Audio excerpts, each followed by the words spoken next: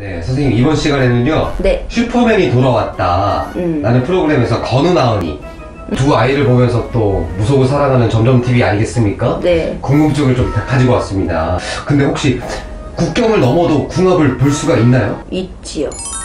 국경을 넘는 사랑도 어, 궁합은 볼 수 있어요. 음. 타고난 사주 팔자가 다들 있기 때문에 네. 예를 들면은 왜 우리 한국 사람들 요즘은 외국 분들하고 결혼하시는 분들 많잖아요. 네. 어, 실제로도 그 궁합을 보러 오시는 분들이 있으시고요. 음. 어, 궁합 얼마든지 볼 수 있습니다. 음, 그렇군요. 어, 그리고 좀 조상 간의 합의가 좀 음. 들려면 음. 좀 대화가 통해야 되는 거 아닌가. 조상 간에 이제 합의가 드는 부분에 대해서 선생님께서 좀 설명을 좀 해주셔야 될 것 같아요. 어, 아, 조상 간의 합의. 음, 일단은 조상이 없는 자손은 없어요. 한국 사람만 조상이 있을까요? 아니거든요. 뿌리 없는 나무가 없듯이 외국 분들도 서양이든 뭐 어디든 외국 분들도 조상님은 계시단 말이에요. 네. 어, 선조가 다 있단 말이지. 네. 선조 없는 그러니까 조상 없는 자손은 없는데 그 어쨌든 우리가 우리 나은이 또 건우 이런 예쁜 아가들이 태어나기까지는 어쨌든 삼신에서 합의가 받아서 태어나잖아요. 네. 그쵸? 그러면 조상 간의 합의도 이루어져야 된다라는 거거든? 음, 뭐냐면 천신과 지신과 인신에서 도장이 꽝꽝꽝 찍혀서 빛을 보는 이쁜 아가야가 태어나는 건데 일단 그 외국분 쪽의 조상 그다음에 한국 분의 조상에서 합의가 들었다라는 거예요. 음. 그래야 애기야가 태어나거든. 음, 우리 이제 어, 인신이죠. 우리 할머니 할아버지들 대장의 신에서도 합의가 들으셔야 자손 점지가 된단 말이에요. 음. 근데 합의가 안 들지는 않아요. 뭐 우리네처럼 언어가 안 통하거나 이런 건 어- 아니거든. 좋은 자식을 좀 얻으려면 음. 좀 어떻게 해야 할까요? 어, 좋은 자식을 얻으려면, 물론 요즘은 사주팔자를 막 이렇게 맞춰가지고, 제왕절개로 좋은 사주를 타고나는 자식을 얻고자 하시는 분들도 되게 많더라고.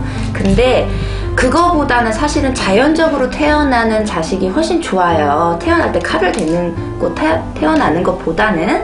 근데, 어, 일단은 자기 그러니까 엄마나 아빠가 타고난 사주 팔자에 자식운이 있는 팔자들이 있어.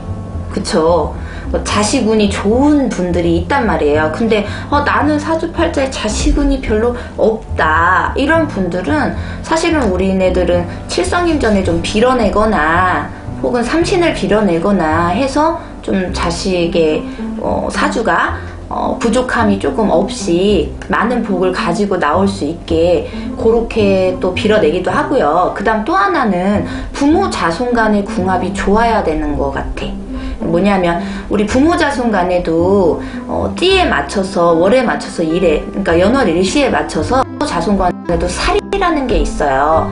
그러니까 부모 자손 간에 원진살, 상충살 뭐 이런 게 너무 많으면 사실은 자식이 태어나면서 부모를 그 이런 좀 치는 게 있고 아니면 부모가 자식이 태어나면서 자식을 조금 치는 경우가 있거든요. 요런 것들을 뭐 띠궁, 띠궁합을 조금 알고 만약에 아가 자손을 준비하는 과정이라면 그거를 맞춰서 뭐 예를 들면 내년에 아이를 낳고 싶어요. 어, 근데 엄마, 아, 아빠가 뭐 원숭이띠야, 용띠야, 혹은 쥐띠야. 내년은 쥐띠 해것, 아니, 쥐, 쥐년이잖아요. 그 띠궁이면은 우리가 띠궁으로는 일단 궁합이 좋게 태어나잖아요. 살을 크게 잡진 않잖아? 요런 식으로 좀 연도를 맞춰서, 아, 내가 언제쯤 임신을 해서 언제쯤 아기가 태어나면 우리 부모 자손 간의 궁합이 좋을까라는 걸 조금 참고를 좀 하셔서 어, 요즘은 좀 자손 준비를 미리 미리 하시잖아요. 계획을 하잖아. 네. 그런 걸 계획하셔서 좀 낳는 것도 나쁘지 않으실 것 같아요. 신혼부부 같은 경우에 이제 자녀 계획을 좀 두신 분들은 좀 이제 이런 음, 그렇지. 전환에 와서 음. 예 점집에 와서 음. 좀 점을 먼저 보고 음. 사주를 넣어보고 어, 언제쯤 아이들을- 아가를 낳으면 좋을까요? 음. 음. 부모 자손 간 우리하고 궁합이 좋은 아가. 음. 음, 사주팔자가 어떻게 타고나야 조금 더 발복되고 큰 자손이 될 수 있는지 네. 그런 부분도 좀 참고하셨으면 좋겠어요. 네. 음. 선생님 오늘 건우 나우디를 통해서 되게 재미있는 무속의 세계를 좀 말씀해 주셨어요, 선생님. 네. 오늘 참 재밌었던 컨텐츠였고요. 다음에는 더 신선한 컨텐츠로 선생님을 찾아뵙도록 하겠습니다. 감사합니다.